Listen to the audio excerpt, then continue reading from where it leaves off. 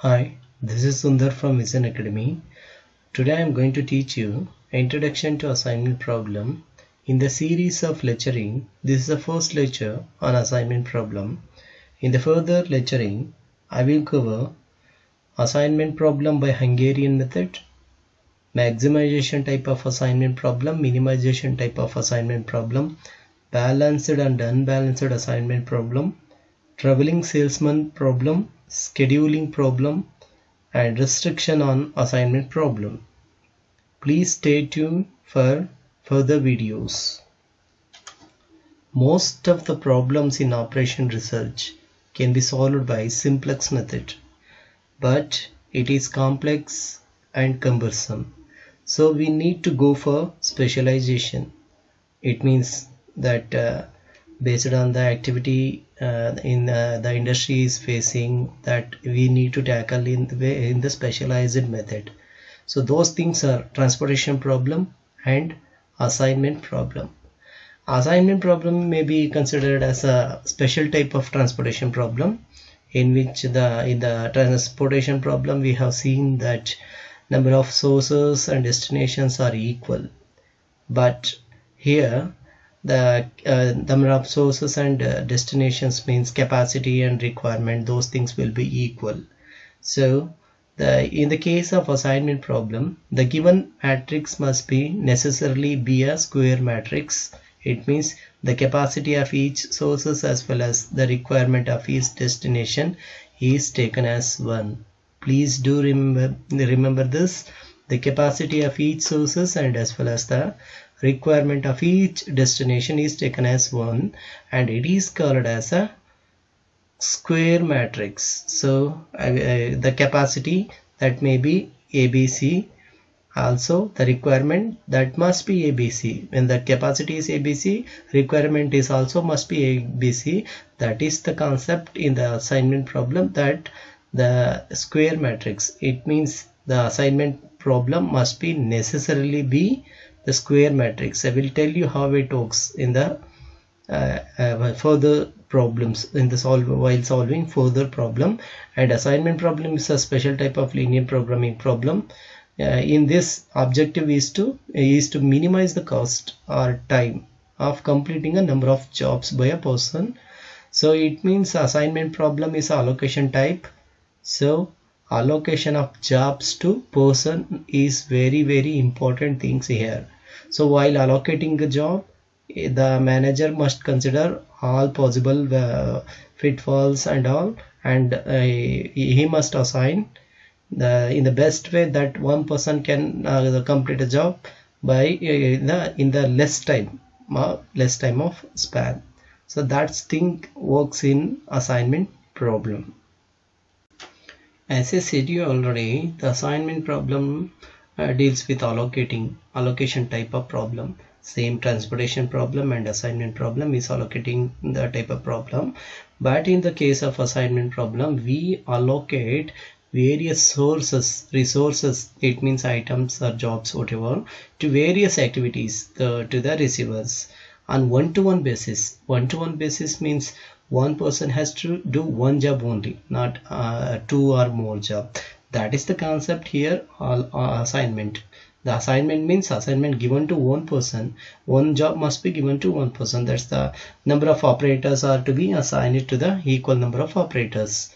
So equal number one in one, one, one to one basis.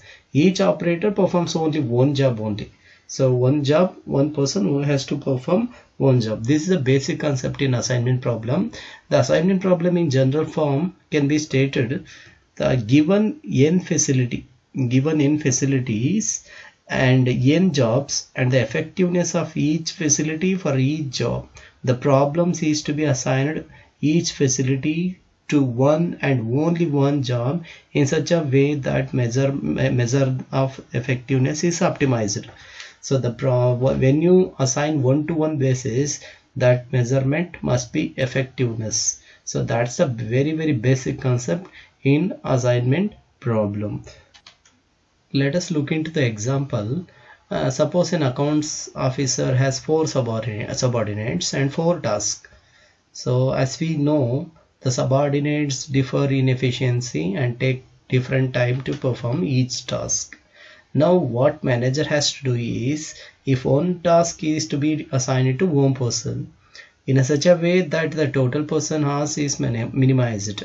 So one person must be assigned one job in such a way that the total hours taken by the subordinate must be minimized. So this type of problem is called assignment problem. So assignment must be one-to-one -one basis. It means one job to one person and the uh, that allocation must be effective effective so that the time taken by the subordinate uh, person uh, handling the task must be minimized. One more example we have. A tourist car operator has four cars four cars in each of the four cities. In the in four cities a tourist car operator has four cars and four customers in different cities so he is having four customer in different cities. That is so now what has to be done is uh, using assignment problem the distance between different cities is also given. The main objective is to assign each car to one and only one customer in such a way that the total distance covered is max minimized. So he has to assign one person to one uh, one customer one car. In the the main objective is to assign each car to one, one only person. Uh, so it means in such a way that the total distance covered by the uh, journey must be minimized. So this is what we do in assignment problem. So we have two types of assignment problem. One is balanced assignment problem and one more is unbalanced assignment problem. This is same thing uh, which we seen in the transportation problem. Let us see what is balanced transportation problem. So balanced transportation problem is an uh, balanced assignment problem is a assignment problem where the number of facilities is equal to number of jobs so number of facility must be equal to number of jobs. So this is a case of balanced uh, assignment problem. In the transportation problem number of destination and uh, capacity must have to be equal to be balanced transportation problem. Here number of facilities equal to the number of jobs. It means so eh, look at here the example for balanced transportation problem. This is tasks a b c d. Four tasks are there. And operators one two three four. So this is a balanced transport assignment problem. It means four operators are there four tasks are there. One task must be assigned to one person and one another task must be assigned to another person. So it means as i said you already so eh, the square matrix I said you it means square matrix means number of tasks must be equal to number of operators number of jobs must be equal to number of person. Example here look at here. This is a squared matrix example for a squared matrix problem. In that uh, assignment problem the problem must necessarily be squared matrix as I said already. So example ABCD we have four tasks and operators 4 a 1 2 3 4 so it is a squared matrix. It means uh, tasks and operators are equal. It means row and column are equaling it is not a case of transportation problem. In the transportation problem row column does not does not matter but the the capacity requirement must have to be balanced. So here rows and column must be equal. That is a cost squared matrix let us look into the another type of assignment problem. That's unbalanced uh, assignment problem. Exactly it is opposite to balanced uh, assignment problem. So wherein number of rows is not equal to the number of columns is said to be an unbalanced assignment problem. Look at here. Jobs are 4 1 2 3 4 and machines are a b c d e. The machines are 5 so in assignment basic concept is to assign one job to one person so it means one one job must be assigned to one machine. So here we have four jobs and we have four uh, five machines.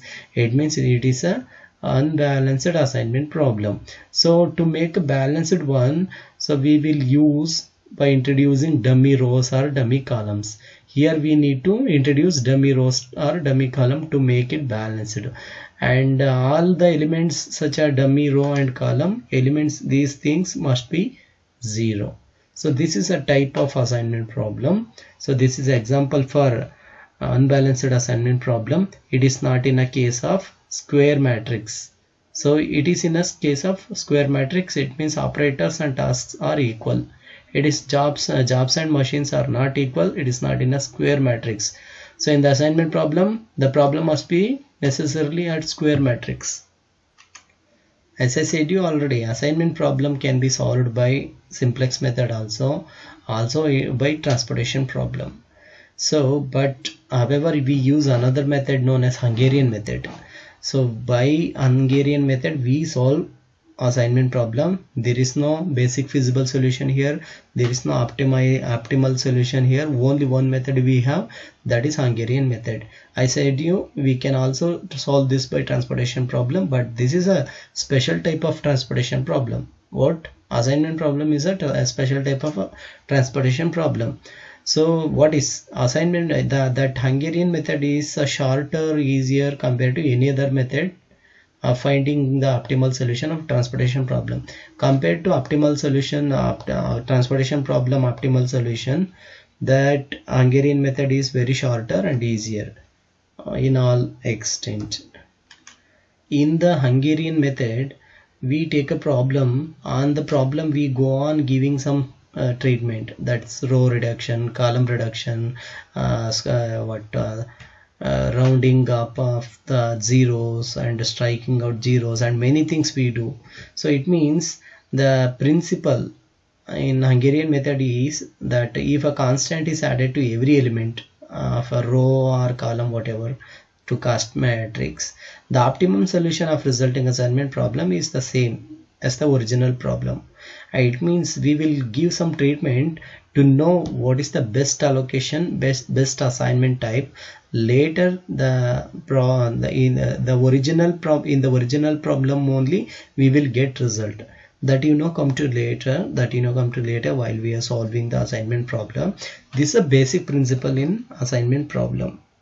So Hungarian method is very important in assignment problem. We have only one method to solve so in the next series of lecturing we will solve the problem by Hungarian method